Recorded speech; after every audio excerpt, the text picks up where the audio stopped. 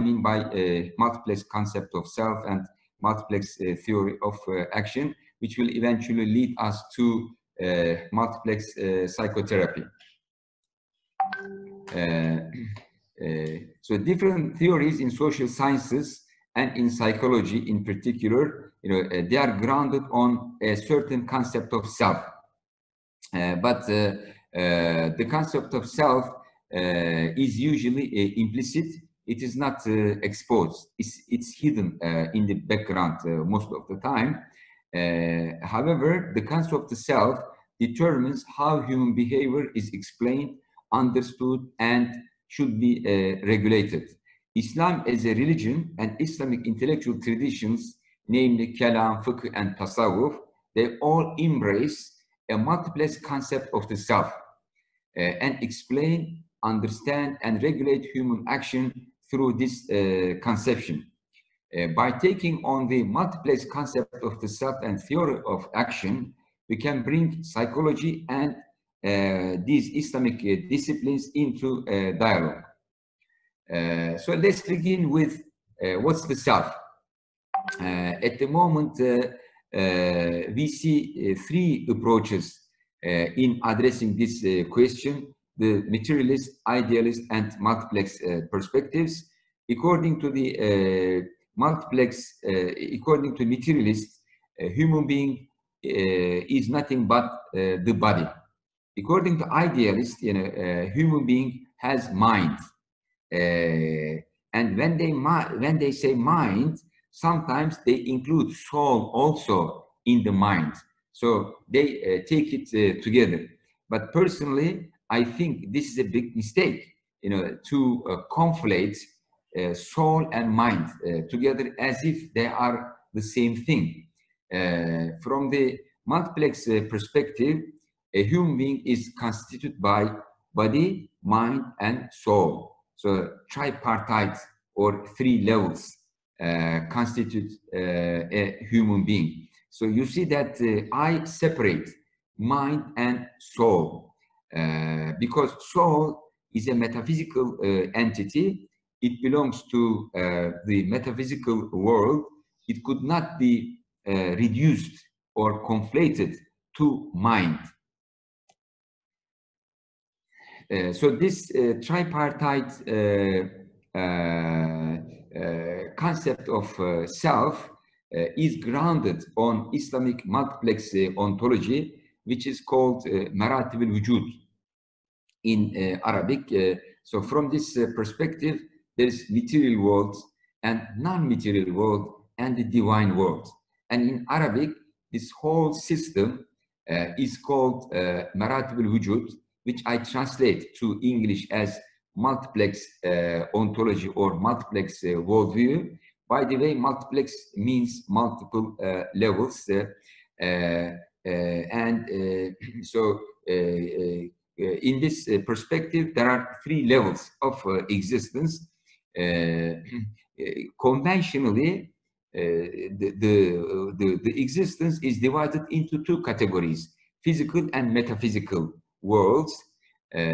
but here, there are three levels because the level of the existence of Allah or God is differentiated from the metaphysical world.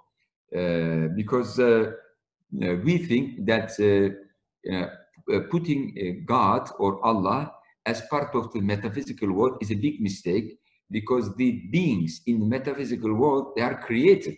Allah is the creator. So putting the creator and the created in the same category would be uh, wrong. Uh, so the creator uh, should be differentiated to stand alone at a different uh, and distinct uh, level of uh, existence. Uh. so these uh, three levels of uh, existence is the is the Islamic multiplex ontology. So this is kind of reflected in a human being because the world is macrocosm and the human being is the microcosm.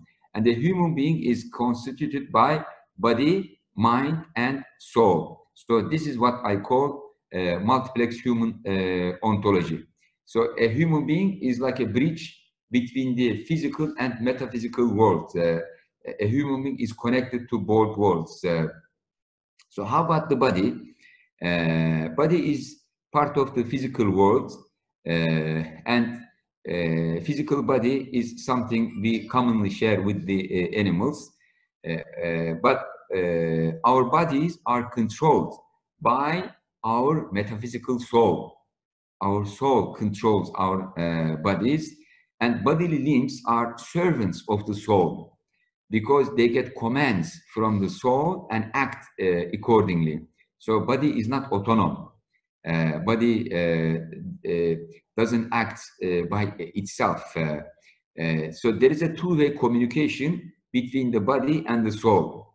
Bodily needs are also communicated to the soul. the physical heart and the brain are the intermediaries uh, between body and soul. And uh, here uh, the graph illustrates this, the, the, physical heart and the brain mediates between body and soul. How about the mind?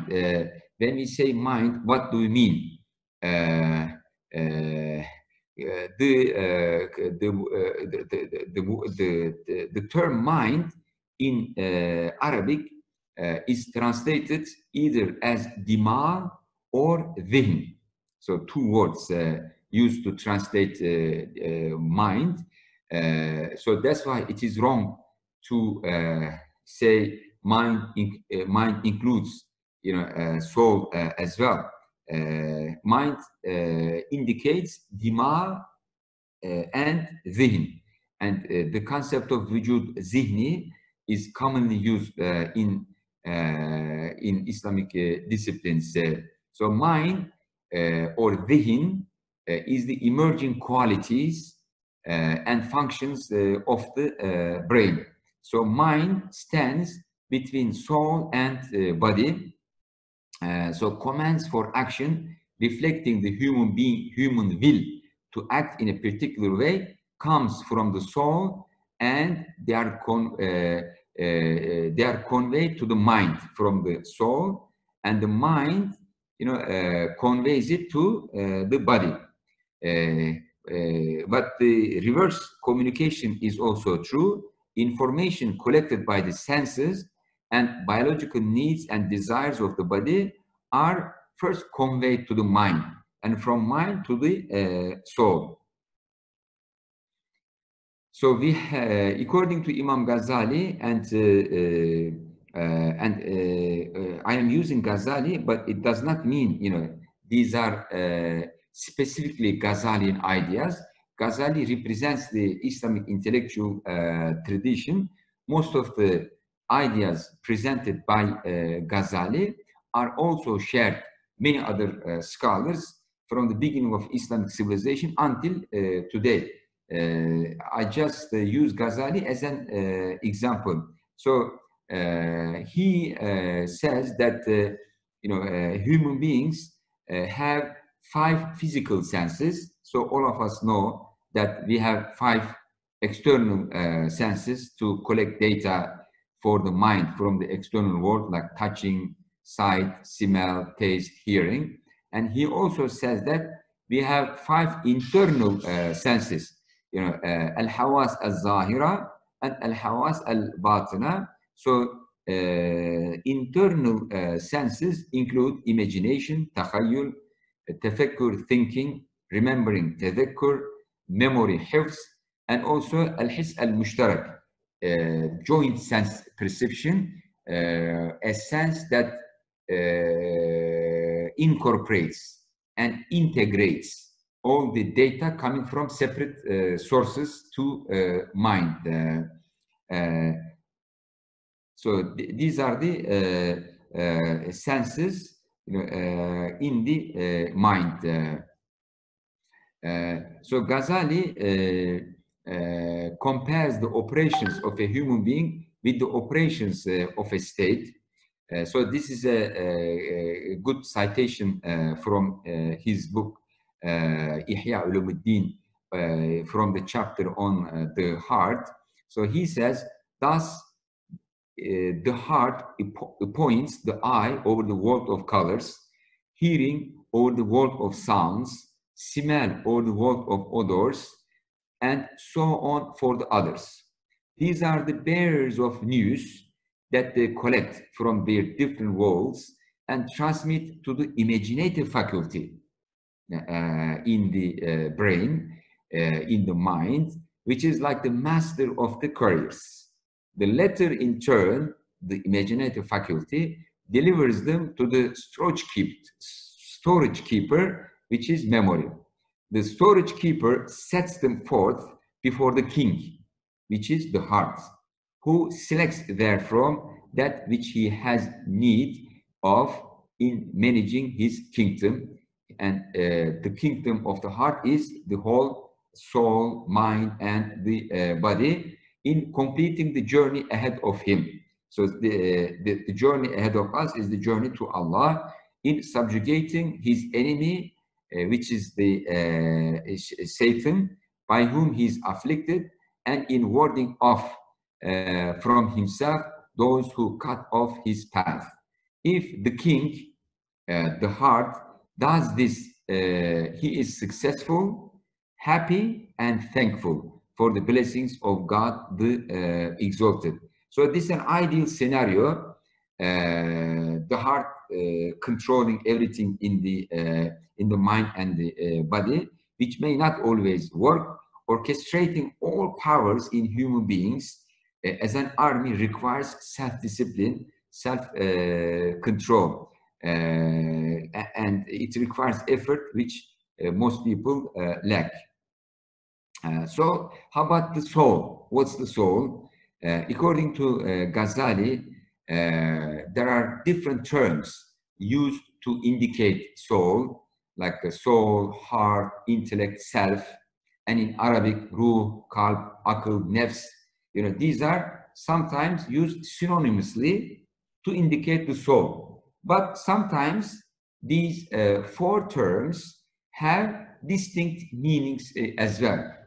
For instance, uh, uh soul uh, is uh, considered the invisible metaphysical spiritual substance and heart again you know used for the physical heart and at the same time the metaphysical spiritual substance uh, which is the knowing and perceiving essence of human beings, and intellect, akıl, you know, uh, man's knowledge of the true nature of things, but at the same time, it's used to indicate the power to perceive and know. And the nafs, uh, again, has two uh, distinct uh, meanings. One of them, blameworthy qualities and animal powers in man. And the second meaning, metaphysical spiritual substance, which is the real essence of man. Uh, you see that uh, you know uh, these uh, terms uh, are either used synonymously to indicate what we call in uh, in English soul or or spirit, but sometimes they are used for different meanings. So you have to be tentative um, to the context in which uh, they are used. Uh, so among these uh, terms, the most difficult one is the term nefs. It's very difficult to translate it to English and we will talk about it. so human soul belongs to the metaphysical world, alim al-malakut or alim al-amr. Uh, the soul is part of the metaphysical world and thus it can be a subject of empirical study only with respect to its impact on moral qualities, attitudes, and behavioral outcomes. So we can empirically study manifestations of the soul, but not the soul uh, itself, uh, because it belongs to the metaphysical world. Uh, it's uh, invisible. Uh, so Al-Ghazali accepts that there are two souls in human beings, uh, so the uh, one is the animal soul, which is the source of biological life, and it belongs to the material world. And the other one is the human soul, uh, which is the source of spiritual life, and it belongs to the uh, metaphysical world. Uh, so he says that the first soul, the animal soul, is the subject of medical science, Uh, and the second one is the subject of tasawwuf, Islamic uh, spirituality. Uh, so the, the, human soul or the or the spiritual heart has some faculties. the most important one is reason and and nafs. So I translated nafs here as ego, and sometimes it's translated as appetitive uh, self. And uh, these two uh, faculties uh, of the uh, soul always compete and conflict with uh, each other. so this is the conflict between reason and nafs and ego. sometimes you hear in common English, there is a conflict between mind and heart. Uh, Islamically uh, speaking, there is no conflict, you know, between mind and heart. The conflict is between akal and nafs, reason and ego. Uh, so uh, from this perspective, the heart is like a battlefield between these two faculties until the human person reaches peace by making reason control all actors of the scene. The metaphysical soul, the spiritual heart, is not fixed or stagnant. Instead, it's open to, con to continuous change, conflict, and uh, evolution. And the relationship between reason and self is decisive with regards to human character and action. So if you want to understand how a human being will act in a particular uh, situation, we have to know uh, how is the relationship between his akal and his uh, because this is how his action is uh, determined. Uh, uh so the soul is networked or connected with the uh, physical world through through through um, mind and body Eh, eh, so although the soul belongs to the uh, metaphysical world, you know, and reason and ego, these are constituting elements of the soul. so they are connected to mind and mind connected to body. So reason and appetitive self, they play a great role uh, in the way the soul is connected to the mind.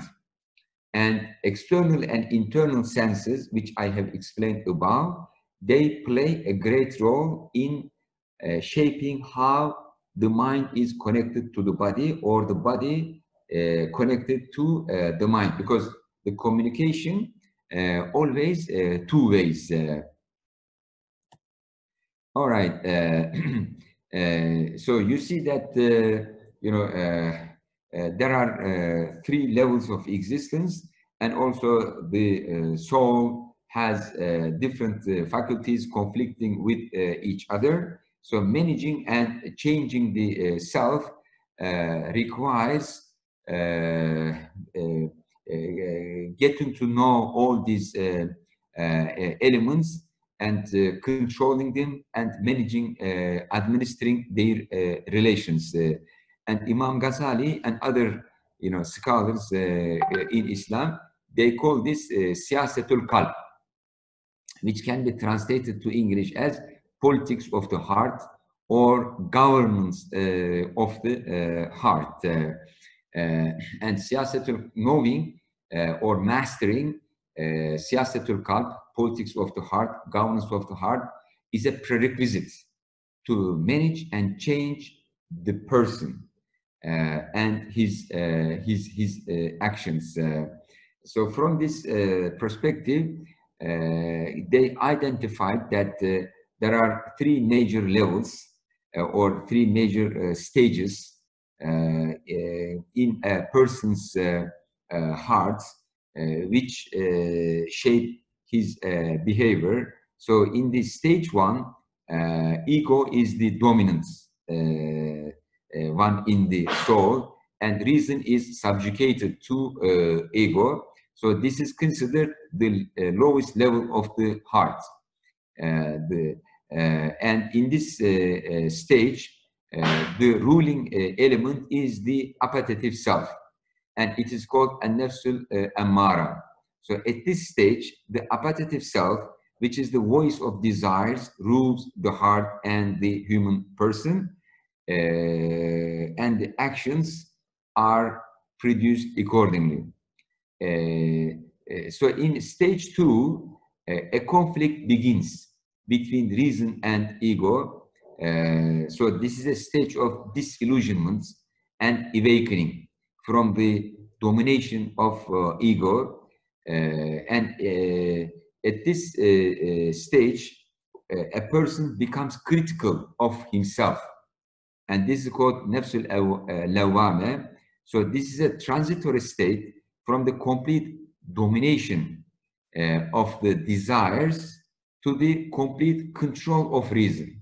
So it is an intermediate uh, uh, level, uh, and a person swings between the uh, between uh, following reason and following ego, and most people are at this stage. and the stage three, which is the ideal state, uh, stage uh, for a, human being, uh, it is called the content self or the happy self. and in this stage, reason controls ego, nefs. so this is the ideal human being in whom uh, reason is the dominant uh, element uh, and the ruling uh, power. Uh, at this stage, the intellect becomes the sole ruler of the self. This is a great inner revolution. You know, after a big struggle between reason and ego, Uh, and uh, this is freedom from the uh, enslavement of passions, desires, and ego. Uh, so how can we uh, like what's a human action and how can we uh, explain human action if we ground our theory of action on multiplex self uh, the first thing uh, we need to state is that uh, human action is intentional performance of an act. So if there is no intention, uh, a, a, movement is not uh, considered uh, an uh, action. So human action is a joint production of soul, mind, and body. Uh, so these are the three uh, elements that make up human existence, and action is produced jointly by soul, mind, and body. Human action, according to Muslim scholars, has two levels the external level and the internal level, zahir and batin. So the external level is the observable level, and the internal level is the unobservable uh, level. Uh, the levels of self, maratibun nefs, are the key to understand and explain uh, human action, maratibul amal, as there is a causal relationship between intentions and uh, actions. So Muslims developed two uh, disciplines uh, to study human action. One is fiqh. Uh, it focuses on the uh, external level of human action, the zahir. And another discipline is tasawwuf. Uh, it focuses on the internal uh, level uh, of human actions, which is a performance by the heart. Uh, so the multiplex uh, theory uh, of human action is based on the assumption that the ultimate control center of a human being is the soul, which is also called heart, intellect, reason, or the self. So the heart is the knowing, deciding, and acting human agency, uh, the controlling uh, human agency. The body and the limbs are just tools or servants or armies of the heart. Uh, what moves the heart to act are the khawatir or the ideas coming to the heart or emerging uh, from the heart. Uh, uh, so Ghazali clearly states that the source of actions are khawatir. So these khawatir, these ideas, uh, come to heart either from the body or mind, or come from God, from angels, or from uh, Satan. So different sources for the khawatir.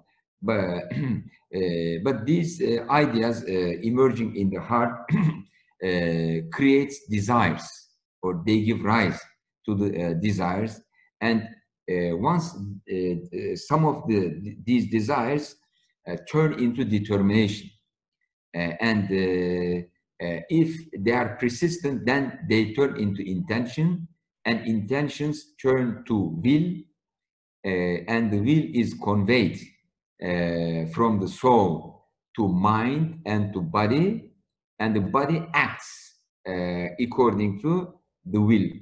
so from this perspective, the primary agency of human action is the soul, and there are processes in the soul, in the heart, and these processes eventually uh, are uh, conveyed uh, by the mind to the body uh, and the body is the subordinate agency of human action. So this is how human action is uh, produced. Uh, but as I as I have already stated, the soul is not fixed. It's not static.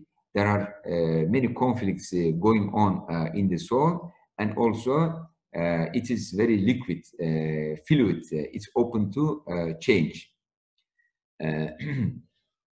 Uh, uh, so how are the relations between multiplex self and action uh, constantly refigured?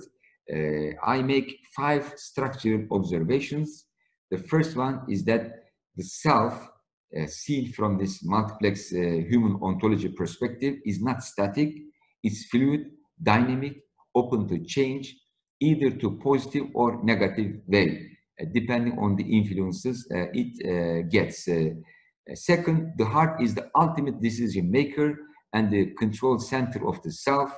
It controls the mind and the brain, which uh, in turn controls the body. Third, reason and ego clash to take control uh, of the heart and the human uh, being.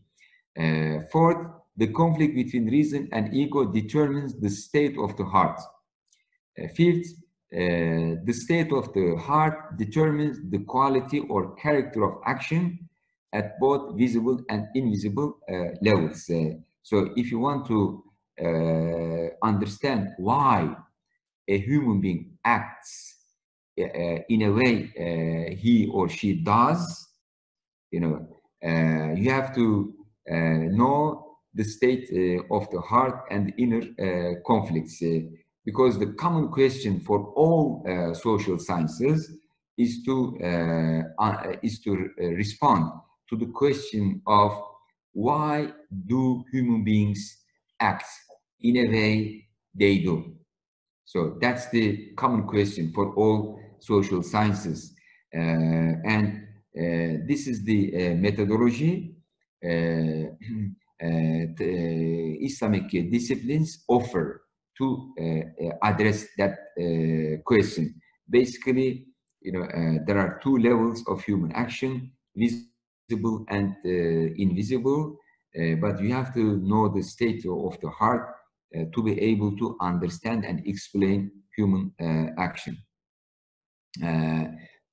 so from these explanations, we can arrive to the conclusion that uh, there are three types of uh, self uh, from the Islamic uh, spirituality uh, perspective, the purpose of studying the soul is not to understand the true nature of or essence of the soul, because this is beyond our uh, understanding, but to grasp its attributes, changing states, and manifestations in human actions you know, on the body. You know, uh, and the body is the is used as the servant or the tool uh, of the uh, soul. So the, the dominant faculty in the heart, either the reason or the ego, determines the state of the heart, and the state of one's heart determines his intentions, motivations. One's intentions determine his uh, actions. Uh, so from this uh, perspective, uh, uh, we can uh, arrive to three types of self.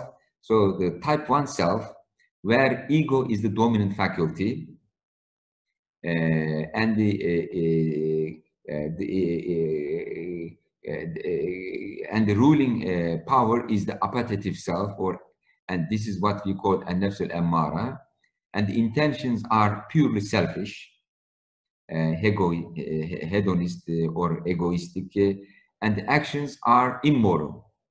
But they may be seemingly good you know, uh, if the person wants to show off, Uh, or openly bad. Uh, so the type 2 self, uh, where there is no ultimately dominant faculty, either ego or reason uh, dominates, so it swings uh, between the two, oscillates uh, between the two. So this type 2 self is called critical self, and nafs al-lawama, because he's aware of his mistakes and the intentions you know, emerging in type 2 self uh, sometimes selfish, sometimes otherish, you know, uh, sometimes egoistic, sometimes altruistic. Uh, and uh, the actions uh, produced by type 2 self are generally immoral, but sometimes maybe moral because there is no uh, standard and it is not stable because it's moving between reason and ego. And type 3 self, type 3, uh, type 3 uh, self is controlled and guided by uh, reason. and it is called the content self because reason is the dominant element and ruling element. and it's called an-nafs al-mutmainna, the happy self. And his actions are characterized by being purely altruistic purely pro-social, uh, otherish, and the, uh, uh, the, the, the, resulting uh, actions uh, always moral, it's very stable, and they are internally and externally uh, good. Uh, uh, how does the type of self affect behavior? so if the uh, if the ruling uh, element uh, is ego, then one goes between extremes. so either cowardly or aggressive. Uh, between two uh, uh, two extremes. so this is called hawa. Hawa. Uh, so the ego follows his hawa, and hawa means unlawful excessive desires. Uh, so sometimes they are deficiently excessive, sometimes they are uh, excessive more than like transgressing the boundaries. so, and the, but the, the, in the content self, moderation is followed, and the moderation is the courage. So the courage is between cowardliness and aggression. So this moderation uh, is a common uh, universal value. You find the uh, uh value of uh, moderation in uh, Greek philosophy as well as in Eastern Uh, philosophies and uh, religions. Uh, so this is something that Muslim ethicists uh, or uh, Sufis uh, and philosophers also share with the with the ethical systems from other civilizations and religions. and similarly, like a stinginess, extravagance, these are two extremes, and generosity is the golden middle way. And timidity and self-confidence, like excessive self-confidence, these are two extremes. And dignity is the uh, golden middle. And insensibility, hypersensitivity, these are two uh, extreme, uh, two extremes. And temperance is uh, in the uh, middle. Uh, so you see that when one is controlled by ego or by appetitive self or uh, and at the state of uh, nefs amara, which is the type 1 self. Uh, so that person swings you know, between two uh, extremes uh, uh, and misses moderation. and the multiplex psychotherapy, it is grounded on the conception of a multiplex self and action uh, uh, uh, it aims to find out the root causes of the psychological disorders and mental distress by taking into account the state of the heart. So the, the state of the heart may be the root cause of some of the psychological uh, disorders. Uh, it focuses on the health of the heart and so. Uh, uh, this is because cognitive, behavioral, and emotional well-being is more about the health of the heart than about the mere mental health. So uh, uh, I am introducing two concepts uh, here. One is the mental health and the other is health of the heart or spiritual health. These are two different uh, things. Uh, uh, spiritual heart, uh, spiritual health or health of the uh, spiritual heart is the subject of Islamic spirituality, but the, the, the, the, mental health uh, may also become subject for Islamic uh, spirituality, uh, but if it's based on purely physical mental illness. Uh, so these are not the subject of uh, tasawwuf. So what's diagnosed as mental illness by psychology is usually at, at the same time a spiritual illness from the perspective of multiplex psychotherapy. But sometimes if it's based purely on physical mental illness, so it is not subject for uh. Uh, so this is very uh, important to make a distinction between mental illness and spiritual uh, illness and uh, uh, and also separating mental illnesses into two categories.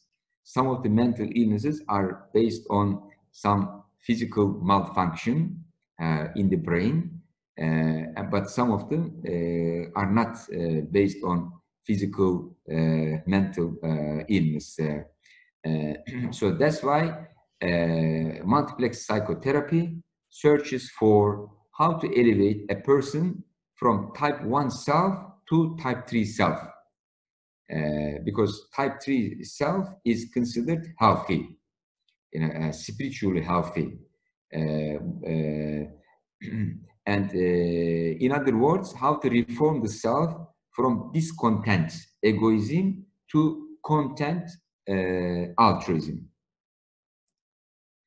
Uh, uh so this question is uh, addressed by uh, Sufis and they offer several methods for this reform or for these treatments you know, uh, elevating a person from the level of type 1 self, nefs ammara, to type 3 self, nefs uh, mutmainna.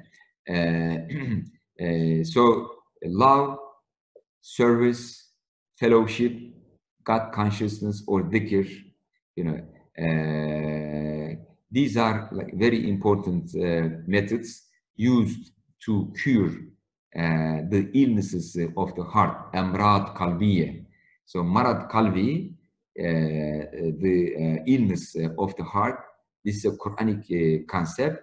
So this is how the, uh, the, the, the, the, illnesses in the heart are treated and cured. and also minimalism and contentment, riyadat nafs, and struggle to perfect inner deeds, mujahada. among the Sufis, you know, there are two uh, schools uh, for spiritual uh, treatments. So one school is the school of uh, Khalwa Dar Anjuman. this is, I translate as detached involvement in society. So one should be uh, part of society, continue his life in society, should not withdraw from uh, society. Uh, and while uh, functioning as part of uh, society, one uh, one's spiritual illnesses or mental illnesses can be cured.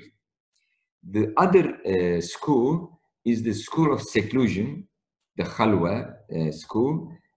so they say one should withdraw from society for a period until the treatment, the spiritual treatment is completed. So this is the uh, uh, riyada uh, or khalwa method. so one should leave society for a period until the spiritual treatment is completed.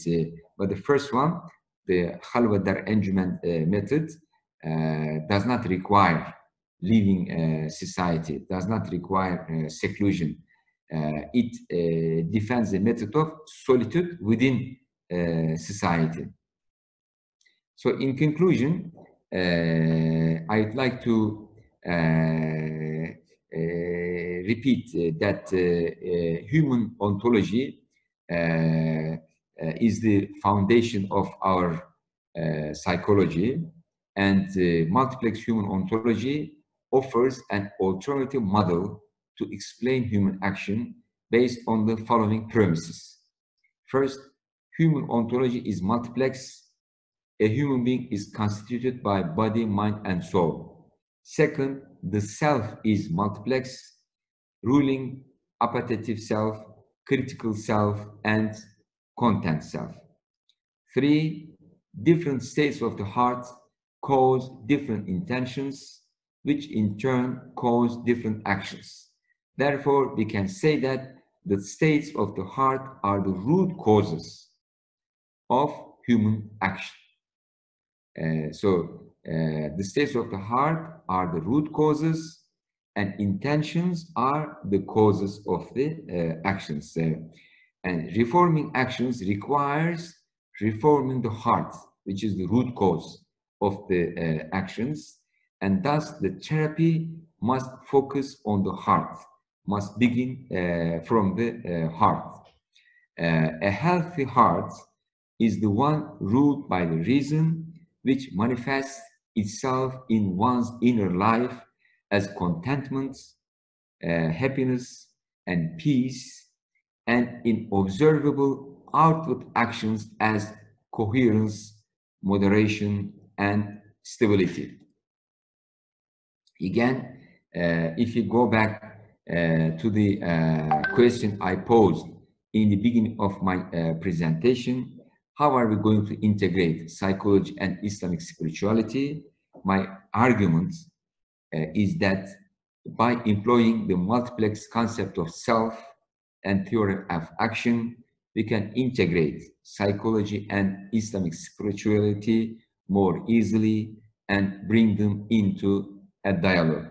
So forget everything I said in between, but remember uh, this uh, argument uh, from this uh, presentation and take it with you to your homes. Thank you very much. This is the end of uh, my uh, presentation. And if you have any questions, I'm, I'll be happy to address them. thank, thank you very much, um, Dr. Rajab. this was extremely informative. And um, I think uh, what you've really done is to demonstrate um, the richness of Islamic intellectual heritage here.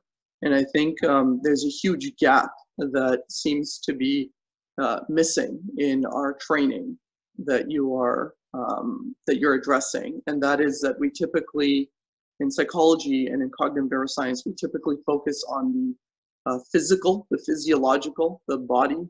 Um, we even engage in the mental processes and cognitive, um, but uh, we don't have any sort of explanatory notions, or that's the ceiling that we stop at in understanding where does human will come in from, volition, creativity, insights, um, you know, uh, the, the sort of metaphysical components, I think, is something that has um, that has been largely abandoned uh, in the in the field of psychology and has been left into philosophy.